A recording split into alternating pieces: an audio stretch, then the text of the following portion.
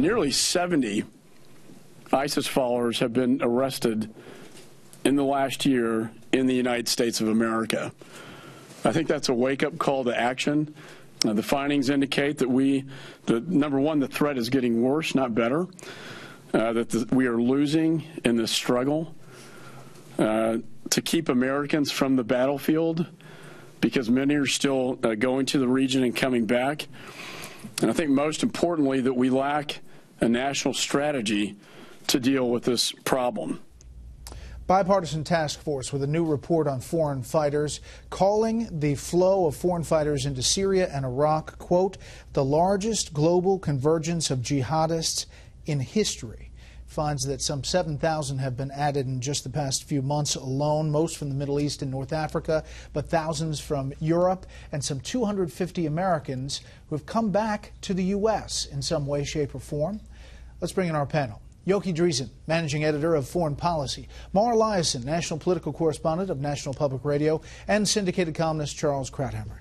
Charles, uh, the report in and of itself is stunning if you take the big, broad look at how big this threat is. It's huge, it's growing, it's unique, it's never happened. When you compare it to the Al Qaeda presence in Afghanistan, this is, it is historically unprecedented. But what's also unprecedented is the utter passivity of the United States. The real story this week is what happened at the UN, where Putin essentially stepped in and took over Syria. He's now the leader. We, we had said two weeks ago, I think it was the it was the Secretary of State, who said that the buildup of the Russians in Syria was doomed to fail. Two weeks later, we have not only accepted it, we welcome it as a, a fight against ISIS, and we concede essentially that Assad will stay under the protection of the Russians. And the irony is that the Russians aren't in there to fight ISIS. The Russians are in there to support Assad, establish their predominance in the region, to bring in Iran, and to establish military facilities. They have no interest in fighting Assad. The Russians launched a half a dozen drones earlier this week over western Idlib, western Hama, and over Latakia. In not one of those areas is there a single ISIS fighter. This isn't about the Russians taking on ISIS. This is about the Russians taking over Syria and keeping Assad as a client in place. That's what happened even as the administration sputters because it has no idea what to do.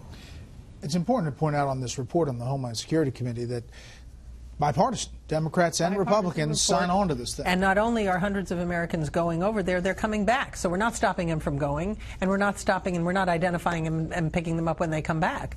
And uh, it's amazing to me that we haven't had more incidents in the United States from people who have gone over and come back as there have been in Europe. But this is a problem. It's a growing threat. Both parties see, that it is, and now they have to devise a strategy to stop it because we don't have one. Yochi what's interesting, it's not just bipartisan, but the White House, frankly, admits to these numbers. They're saying that there are now 30,000 foreign fighters in Syria and in Iraq, much more than they said last year when they said it was about 15,000 to 20,000. So they're also acknowledging an increase. The scariest part of this, to me, is not simply the number who are flowing or the number coming back. It's that they can radicalize here. A lot of the attacks that have taken place in Europe weren't people who went, trained in paramilitary tactics, came back. They're people who got radicalized over the internet, radicalized in the mosques they went to, in the schools they went to, in the prisons they spend time in. So it isn't simply a flood of people go, train, come back. It's people who never leave their house, never go to the Islamic State, but join it anyway. I want to play the soundbite about uh, Hillary Clinton talking about Syria policy in the Obama administration. This is a failure in policy, isn't it?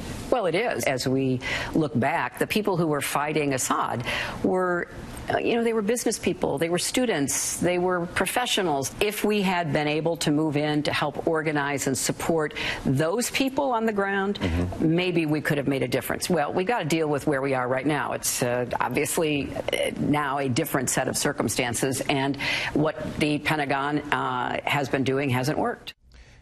And she said, Yochi, that uh, she kind of had a hard time with the question of how she differs from President Obama. Um, but in this way, she's trying to separate, saying she was for arming and training and getting uh, supplies to rebels in Syria early on. That's right. And I think you know she'll be faced with the difficulty of defending Obama policies up and down the board.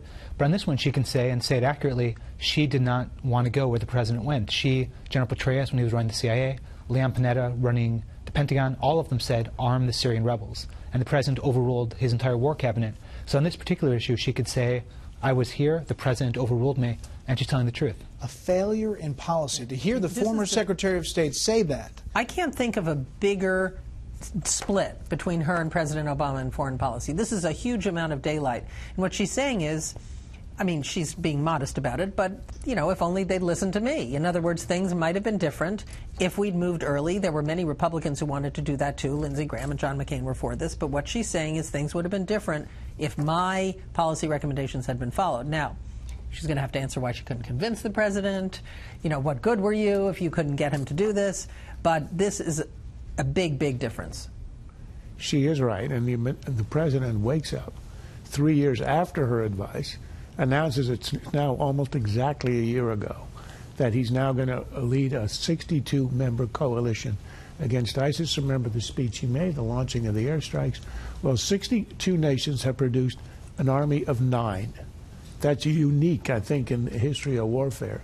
And it was so humiliating that that was the moment which Putin chose after the announcement of the complete failure of our policy of arming very late, training very late a minuscule number of non jihadi fighters.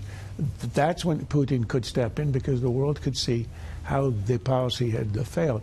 Clinton is right, her advice was right, and it was ignored, and now we can see the consequences. We should point out that all this comes. The president chaired this. Uh, this uh, summit on countering violent extremism as the Taliban in Afghanistan has taken over a city, another city. ISIS is expanding in Iraq and Syria, but the Taliban is back on the move. That's right. And for a while, they were taking over parts of the south, which was scary enough. Now they're taking Kunduz. I, I've been to Kunduz. This is a large, major city. So they're expanding in the south, the east, the north, the west. There's not much of the country in which they are not expanding. And you remember, like, for a while, the White House was saying, you will not see Afghan cities fall. This won't be Iraq. Now you're seeing Afghan cities fall, and it's taking on the feel or the, the scent a little bit of Iraq. And what, what's so scary about the fall of this city in the north, we've always known that the heart of the Taliban, their tribal supporters, the Pashtun, who are in the south.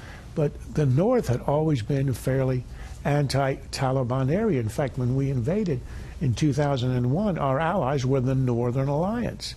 They were already on our side. So this is a really extraordinary development. And the irony of having Obama preside over a summit about violent extremism as the important city in Afghanistan is falling and as his Syria policy falls apart is a metaphor for the whole foreign policy. Obama loves meetings, he loves talks, he loves coalitions. In the meantime, all of our all of our allies in the region are on the run.